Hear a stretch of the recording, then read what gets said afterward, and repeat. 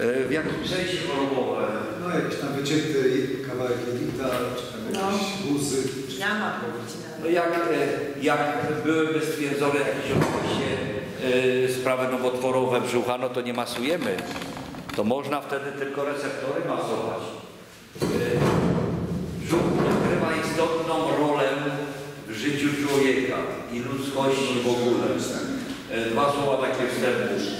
Jelita, grube, cienkie jelito, tam się znajduje żołądek, dwunastnica, trzustka, e, Wątroba. e, więc ważne organy, organy, które rodzi się tam życie, organy, które decydują o naszym zdrowiu.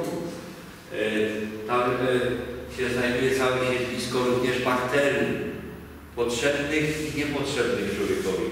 Dlatego oczyszczanie e, się i brzucha, jelit, bo brzuch to jest potocznie, potoczna nazwa, mówimy o tej okolicy, jest bardzo ważne. Y, Masaż brzucha jest takim masażem długowiecznych. Te narody, w których istnieje kult ducha, a są takie narody, są takie plemiona mongolskie, e, tam w Kirgistanie, gdzie mieszkają ci 120-letni, to tam się brzuch kultywuje. W wielu tradycjach starych, japońskich, niektórych chińskich prowincjach brzuch był kultywowany. E, Brzuch ma swoją filozofię. My w Europie niestety nie mamy takiej kultury brzucha i tradycji. Jedyna znana tradycja europejska to jest tak zwany Bierbauch niemiecki, brzuch piwny, a e, filozofia brzucha powinna e, polegać na wielkim kulcie, ponieważ ta część, jak wspomniałem, znajduje się w środku człowieka, czyli same centrum, hara, tu się znajduje intuicja, środek ciężkości. Intuicja. Niektórzy mówią mózg. Tu i tu. I jest w tym wiele prawdy. Pępek, pępek świata. Punkt, od którego można energetyzować wszystkie e, inne części czy organy. Teraz to centrum, ten brzuch, leżący w środku jakby człowieka, jakbyśmy porównali tam, że wszystkie części odchodzące od niego to są jego sąsiedzi. A co o sąsiedzie można by powiedzieć? Że z sąsiadem należałoby żyć. Jak się źle złego sąsiada ma, czy źle się z nim żyje, no to mamy w jakimś stopniu przegrane. Nie możemy mu zaufać, musimy go pilnować, albo się przed nim strzec wręcz.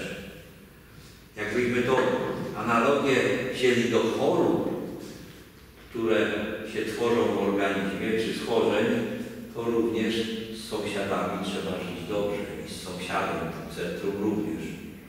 Bo jak się w nim coś zacznie, to zacznie promieniować, czy wytwarzać się stan zapalny na inne części. Wtedy całe ciało choruje. No jeżeli choruje nam brzuch potoczny, na przykład jelita, czy żołądek, czy trzustka, no to jesteśmy w zasadzie cali chorzy. Nie tylko tu i teraz, tu tej części. Wtedy mamy inną przemianę materii. Wtedy nam się oczy psują albo słabną. Wtedy nie mamy takiego ruchu właściwego. Mało mamy ograniczony ruch. Bo jeżeli nie sam ruch w czasie poruszania się, chodzenia, ale taki ruch, gdzie chciałbym coś wykonać więcej, jakiś wyczyn, to nie mogę, bo mam chore jelito, albo bo mam biegunki, jak się napnę, czy coś w tym sensie. Więc tym brzuchem należy żyć bardzo dobrze, dbać o niego. Wracając do masażu brzucha, masaż brzucha y, jest bardzo ważny, bo masując powierzchnię brzucha, masujemy wewnętrzne organy. I teraz Jeżeli dziecko małe płacze w wózeczku, to mama intuicyjnie go po brzuszku głaszcze. I on się wycisza, uspokaja. I ta mama nie musi wiedzieć, nie skończyła medycyny czy kursów masażu, a wie, że trzeba go pogłaskać po stopce albo po brzuszku. Brzuch odegrał w świecie ogromną rolę również u nas w Polsce i odgrywa nadal i będzie odgrywał. A gdybyśmy tak udali się do takiego porzekadła najważniejsza pełna kika, dotyczy się to wszystkiego. Mrówki, słonia, narody jak są, jak mają pełne brzuchy w cudzysłowie, czyli są, nie są głodne, nie walczą z sobą. Jak ten malutki ma pełną piwę, to też jest spokojny. Zwierzęta też się nie zagryzają. A i brzuchem wymuszano w świecie wiele, e, wiele sytuacji. Mam tu na myśli strajki głodowe, czyli nie wrzucanie nic do tego brzucha. Brzuch może być oczywiście też jednym wielkim śmietnikiem, do czego nie powinniśmy dopuścić. Mam na myśli jelita, które się znajdują w bo one przyjmują całe paliwo, pokarm, który decyduje o jakości naszego życia. Ale jeżeli tam w tym brzuchu, w tych jelitach przewagę zdobędą szczepy negatywne, setek czy tam tysięcy bakterii, to zaczynamy chorować. I to, tak jak wspomniałem, nie tylko skulamy się, czy idziemy na tron co dwie godziny, tylko, e, tak jak mówiłem, wzrok nam słabnie. Głowa zaczyna boleć, czyli wszystko. Wszystko zależy od brzucha. Jeszcze dwa słowa należałoby się tym wielkim kultom brzucha, które e, w tych krajach egzotycznych e, to dzisiaj trwają. Się różne zawody wytrzymałości brzucha, uczenia na nim różnych przedmiotów, kamieni, bloków skalnych i tak dalej. I te narody, które lubią ten brzuch, czy trzymają ten kult brzucha, masują go. I udowodnione jest, jest faktem, jest, że żyją dłużej. Teraz jak ten brzuch masuje? Pokażę kilka. Zawsze w kierunku ruchu wskazówek zegara. Nigdy inaczej. Tu jest taka żelazna reguła. Na bok. Troszkę na bok jechać tam 20 cm. Dobra.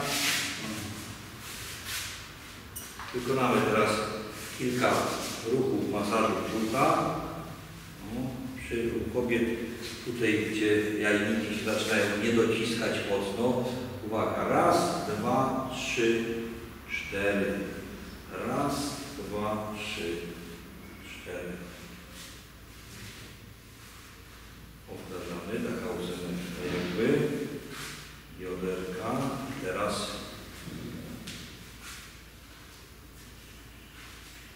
krążymy jak widzę w jednym kierunku. Tak jak się układają jelita. Jedna cały czas, druga wchodzi.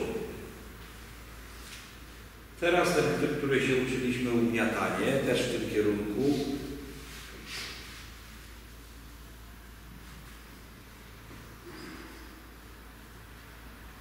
Zawsze zgodnie z wskazówkami zegarka. Tak. I znowu kilkadziesiąt ruchów. Mogą to być masaże odchudzające,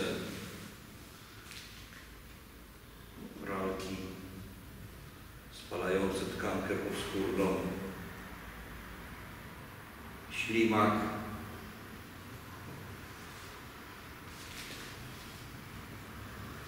karmianie tu przy pęku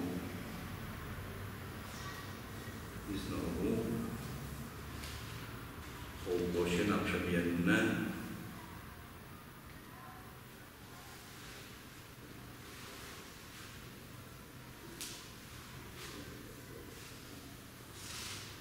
I na koniec się, wibracja i puszczamy.